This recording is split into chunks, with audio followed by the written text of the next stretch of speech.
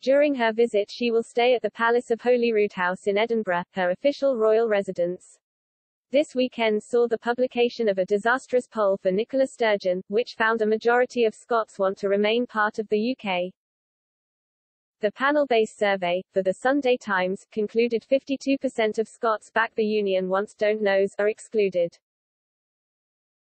This is the lowest support for independence has been in a panel-based poll since 2019. In further good news for Unionists just 22% of Scots think the country will leave the UK in the next five years, a fall of 8%.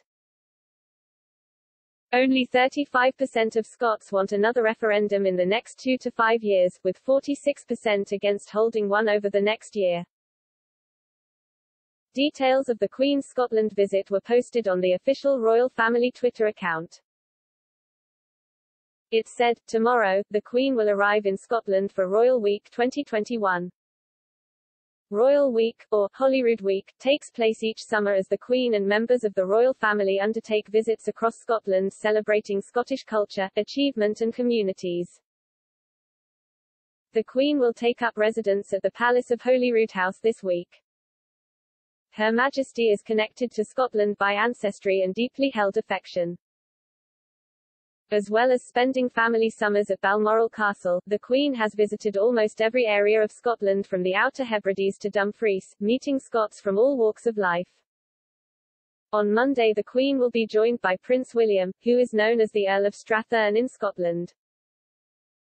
On Wednesday and Thursday she will be accompanied by her daughter, Princess Anne. Both William and Harry will be in London on Thursday to unveil a statue of their mother, Princess Diana, at Kensington Palace. The Queen usually hosts a royal garden party during Royal Week, her annual summer visit to Scotland.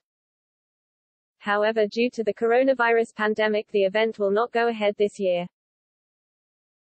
The SNP fell one short of a majority during May's Scottish Parliament elections. However she is continuing to demand a second referendum on taking Scotland out of the UK. In 2014 Scotland voted to remain part of Britain by 55% of the vote to 45%. Boris Johnson has argued now isn't the time for another vote, and instead the SNP should focus on Scotland's coronavirus recovery. Some SNP figures have suggested another referendum could be held even without UK Parliament approval. However if this happens Douglas Ross, Scottish Conservative leader, is urging Unionists to boycott the poll. If Scotland leaves the UK, and rejoins the EU, it would result in a hard border with England.